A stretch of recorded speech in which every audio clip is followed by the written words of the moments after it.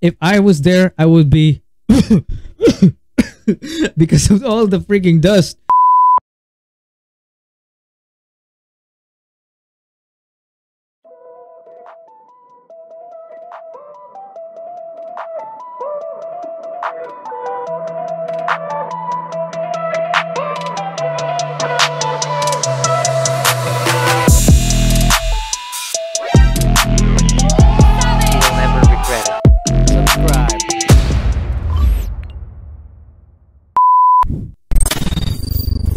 Are you still awake, guys? I'm so sorry if I'm boring you sometimes. Episode 4, you're almost done here.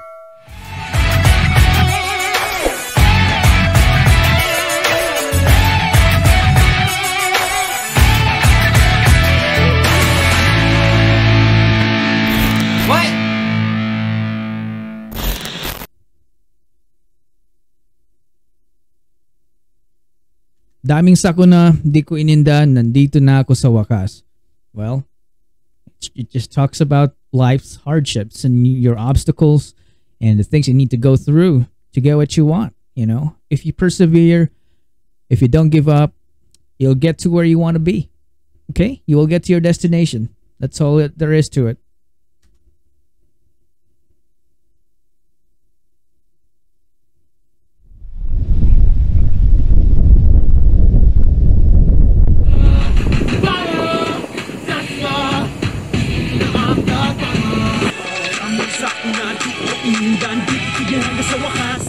Pag first timer!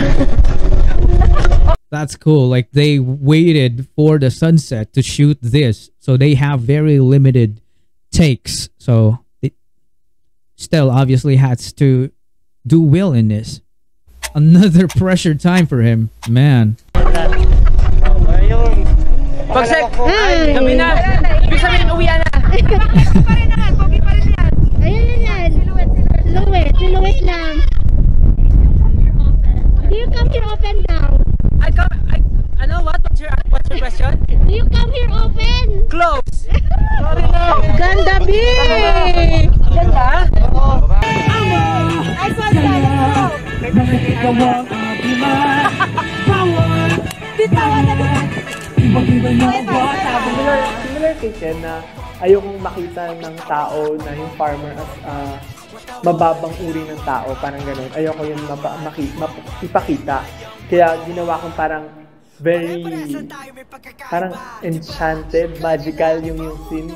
Parang ganun. Gusto kong mapakita ng ganun. Tapos, um, basically, ayun, medyo direct eh. Kasi, um, parang ang idea ko doon, magtatanim ka ng isang butel ng kung ano man, pero tutubo dalawa, parang ganon. Um, and then, ganun yung pinakita sa sa music video. And kung mapapansin niyo yung um, before the first chorus, dami sa ako na di ko ininda, andito na ako sa wakas. Sobrang, kasi sobrang daming mangyayari sa mga farmer, yung mga story ng farmer na binabagyo sila, tagtuyot, mahirap i-manage yun and marami silang, alam niyo yun, ginag tinutuloy pa rin nila yung ginagawa nila.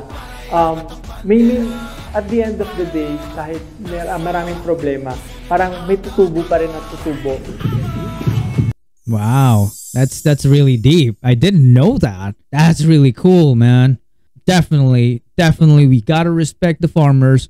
They're the ones. They're the reasons why we have rice that we eat every single day, and I I am just hoping they get paid enough because uh in our country you know how it goes, right? I mean the huge companies are buying their rice at a very low price, while these companies are like selling the the high quality rice very expensively and all the money they they get are like you know goes to them not to the farmers.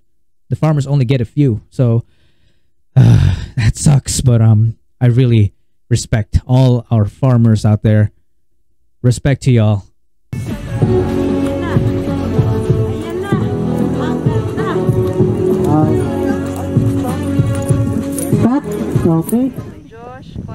this is the opening scene the really badass scene that got me hooked Kuya, la- last na po. Five, six, seven, go!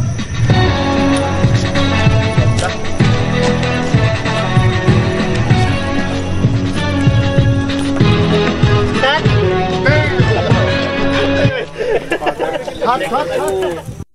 music is just so badass, man. Gimbal na naglalakad. Tama, kabilang side, kabilang side. And then, balik, balik, balik, balik. Yung pag, ah, paghahanda namin, grabe yung practice namin para sa music video namin and unfortunately sobrang nilagnat ako kasi so, over fatigue, sobrang nabugbog yung katawan ko siguro sa practice. Ah, kaya sa ayun, hindi siguro, sy- syempre, human lang, di ba? Sobrang hindi siguro kinaya ng katawan. Kaya ayun, sobrang naano yung katawan ko, nabugbog sa practice. And during the shoot, hin- hindi ako makagalaw ng maayos kasi mabigat ulo ko, nakakahilo. And yung kinabahala ko, na nawala naman. Yung ibang members talaga binigay nila yung best. Damn. No excuses for them. Like Ken, he's really, really showing that he's a badass here. He has a high fever, but you know, that doesn't matter. The show goes on. I'm here. I ain't gonna ruin the freaking shoot just because of a freaking fever. No. Let's keep on doing this. Let's finish this thing. Badass. Tapos andun yung mga staff namin para i-support ako. Minors din naman talaga, may minors din para para suportahan ako. So, nakita ko yung nakita ko yung result na sobrang ganda rin talaga.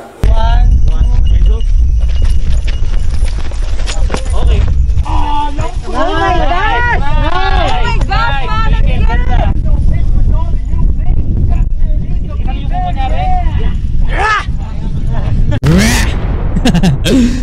Mga tight shot, solid. Grabe, grabe, grabe, grabe. Usay, usay! Bukas, wala. Wala na kung balak na tapusin Di ibig sabihin pag di tinapos Nagsimula na pero wala na kung balak na tapusin Di ibig sabihin It's really a freaking glam bot. Man. How did they manage to get one? Ah, yung set kahapon sobrang amazing. Sobrang epic kasi ayun nga, ah, dapat i-shoot namin doon yung um, ah, verse ko and then yung intro wherein ah, magkakasama kami ng grupo. And parang goblin talaga yung dating niya kasi parang merong lights na tatlo tapos pag pumasok ka doon, pag you pass through the light, parang wala ka talagang makikita. Pitch dark, pitch black talaga. So, parang out of nowhere, pag lumabas kami doon, magkakasama kami lima, iba yung dating eh. Tapos may smoke pa. Parang goblin talaga mapapakanta ka na. Pero yun, ah, ang ganda ng dating. Tsaka yung ano ko, yung glam bot. Favorite ko yung glam bot, even though it was really hard for me to shoot that part kasi nga, medyo kailangan mong ah, i-set up talaga yung glam bot kung gaano siya kabilis pumunta, mag-stop, mag-move sa next point. So you have to like parang kailangan maging in sync kayo tsaka kailangan mag-complement kayo to each other not just you know yung stop ka lang tapos focus so yun I tried my best in that part pero feeling ko hindi pa enough pero mukhang okay na naman na so yun the best yung this dude. This dude wants perfection. He was like, maganda na siya pero it could still be better. I don't know, guys. I can really smell in him that he is a perfectionist and he just wants the best result. Is what I'm trying to say. lambot Ayan po. Sa labas, we're going to paint the masks. Yung Kim suggesting it doing here outside. Nagsushoot ngayon si Stel. Okay. It's the Katipunan part.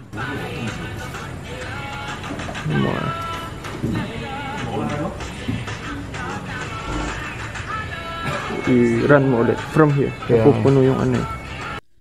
These boys are frigging hands on to what they're doing. Like, they're not supposed to be doing this, but they are. This only shows that they're really very passionate in what they do. And they are real artists. Only real artists do this. They want to get dirty. They're willing to do all the small things to complete the bigger picture. Like, this is just amazing to witness, guys. Namin kung magkakaproblema to kasi natutuyo. So baka hindi siya makita. Tapos ang tagal din matuyo. I mean, we decided to make it ano to use a blower na lang. hindi hindi tuyo hindi pa medyo. Itong ganito, sig- sigurado hindi pa yan tuyo. Oo. Ito, tuyo-tuyo na to. Pero matagal nga ito matuyo pagka ano, paghangin lang. Ayos ko na ang pagka-food. Si Pablo naman ang nagpapatuyo. Ano ko lumilipad? They really got down and you know got dirty for this one. Puno na. Wala na kayong malagay.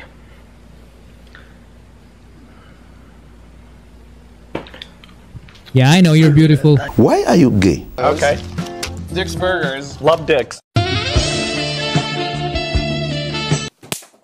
Ah, ngayon talaga dapat namin gagawin yung um, part na parang merong batalyon na kaming kasama. Tapos sasab- ah, sasayaw kasama namin. Pero unfortunately, um, meron tayong mga weather problems. Ah, umuulan ng matindi, non-stop. ah, which is ah, very unfortunate kasi yung pagsushutan namin lupa. So magpuputik siya. So hindi siya advisable talaga sayawan. Hindi ko alam kung paano yung gagawin namin doon. So right now we're trying to figure out what we're going to do. Uh, hinihintay namin humupa yung ulan. And let's see what's going to happen. So, ayun. Yeah, those are the flower. They they pinned to those themselves. That's crazy.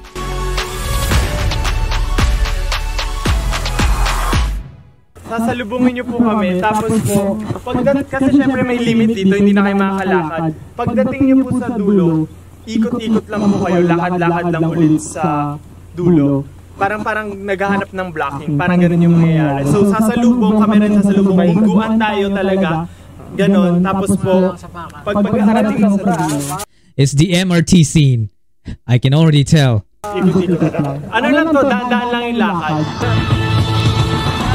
Sabihin sa'kin kung anong aking dapat gawin Di naman kayo natutong makinig Appear yan! Appear! Appear! Appear! Pull up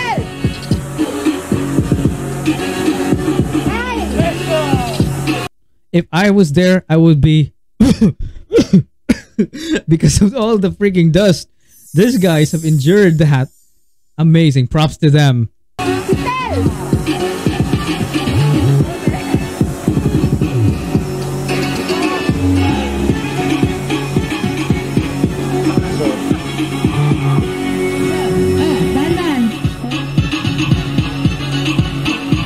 That's a lot of dust.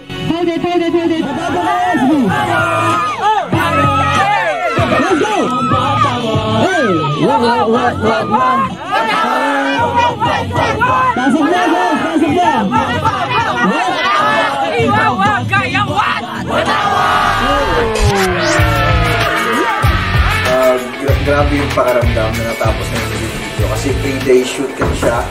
And grabe yung pagod ng lahat ng members, ng staff, na I told in my last reaction that this must have taken months. They only did it three days. That blows my mind, guys. How amazing are these group of people? Not just them, the staff, the dancers, everybody involved. You guys are frigging amazing. production team, ng stylist, lahat ng tao involved, na involved sa music video shoot namin.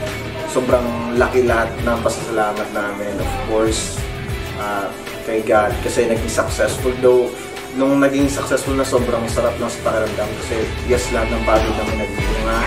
And ina inaantay na lang namin yung resulta na makita namin.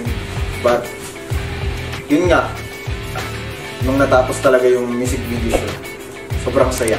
Nakakaiyak. So, nakakaiyak naman talaga siya, pero hindi naman ako.